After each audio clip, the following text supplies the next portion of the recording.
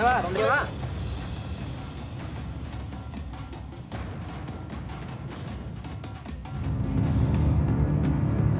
En la aduana que linda con Gibraltar, los agentes están atentos a los numerosos coches que la transitan, tanto de día como de noche.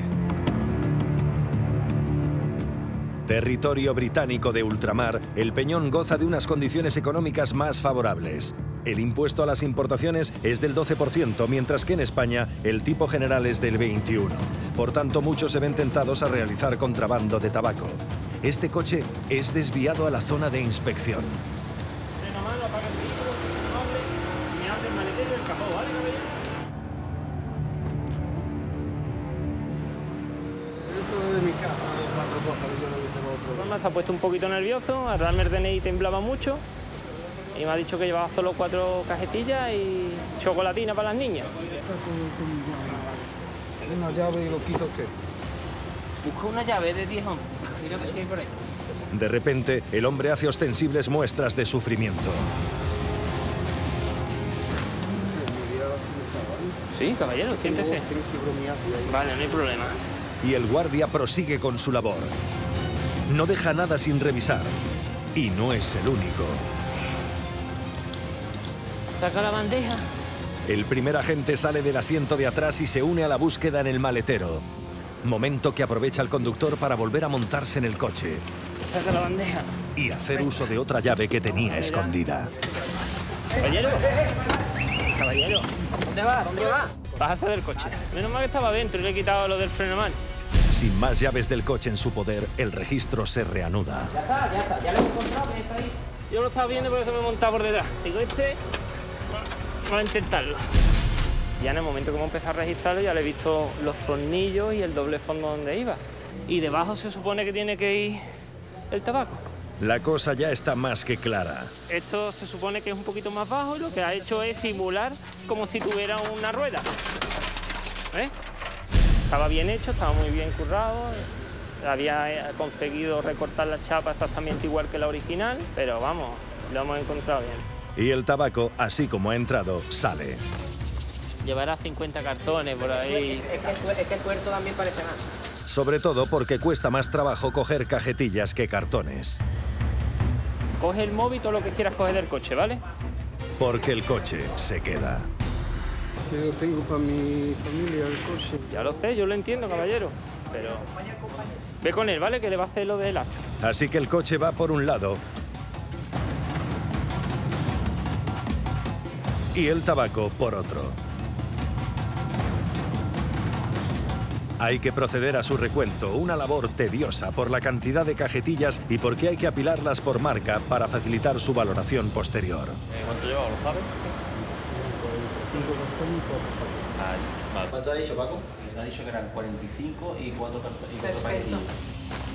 19 de 19 de Marlboro, 11 de, De Chester. de Chester y 15 de Games. y 15 de Camel, más 4 partidos de American Legend.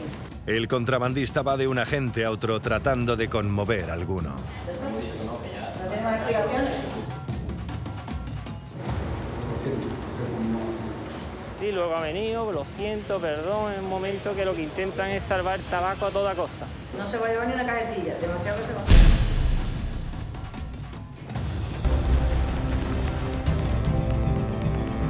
Tarifa, municipio gaditano de apenas 20.000 habitantes cuyo cabo marca el punto divisorio entre el Atlántico y el Mediterráneo. Es la ciudad europea más cercana al continente africano. Y la más expuesta al contrabando de mercancías, el tráfico de drogas y la inmigración ilegal, negocios que superan cada año y en todo el mundo los 2 billones de euros. Se trata de una frontera caliente. Tengan en cuenta que son 14 kilómetros que nos distancian de, de Marruecos sí. Y 82 son los kilómetros de costa bajo su jurisdicción. Lo que más se nos requiere y puede ser servicio de playa, que esto es todo el año lo que es el narcotráfico y e inmigración. Actividades delictivas que las organizaciones criminales prefieren desarrollar al amparo de la noche. Ellos van siempre buscando la, la impunidad, no ser vistos. Por eso esta noche sin luna, ideal para el desembarco ilícito, no es la única patrulla de la Guardia Civil que se encuentra sobre aviso. Se me visto que había una goma, que si nos ponemos en segunda línea o qué es lo que hacemos.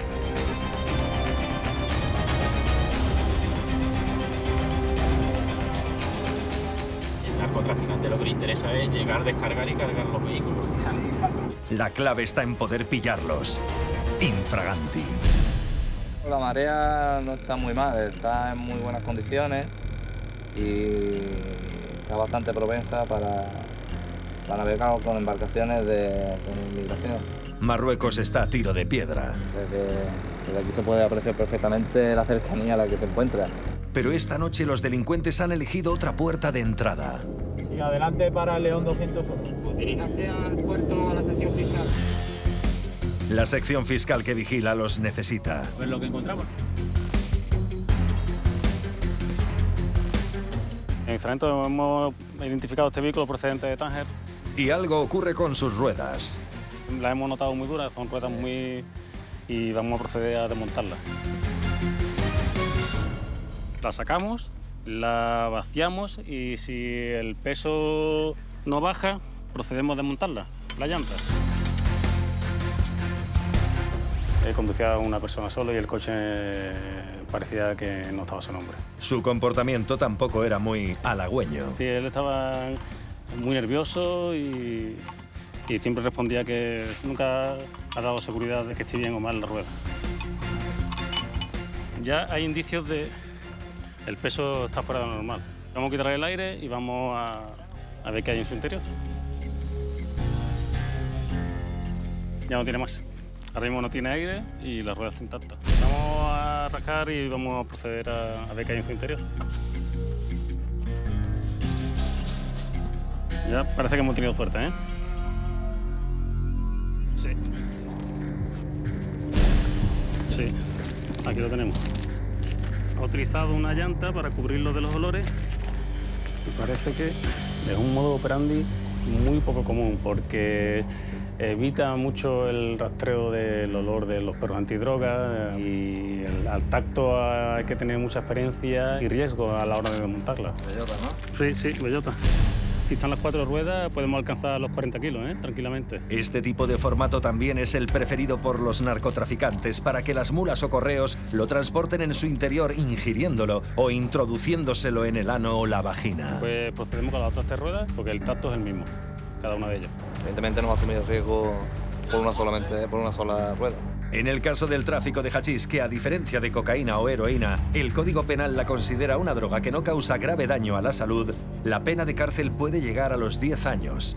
Todo depende de la cantidad de hachís incautado y de si se demuestra que pertenece a una banda organizada. Por experiencia creemos que este tipo de vehículos no pueden recorrer una distancia muy larga. Eh, cubierto con llanta y se calienta mucho la rueda. Un destino que podría ser clave para identificar a otras personas implicadas. Después de montar las cuatro ruedas y hacer el trabajo final ya de desmontarla, reventarla y sacar extraer la droga, hemos hecho el pesaje total y llega a un total de 45 kilos. Dependiendo de si se vende al peso o por dosis, podrían haber superado en la calle los 150.000 euros. Una ilusión de riqueza que para quien la transportaba se ha esfumado en cuestión de minutos. Brahim se han desmontado las cuatro ruedas. En su interior se ha encontrado ¿eh? lo que es un chorizo rodeando la llanta, ¿vale? que hace un total de 45 kilos. En este momento está usted detenido contra un delito, un delito contra la salud pública.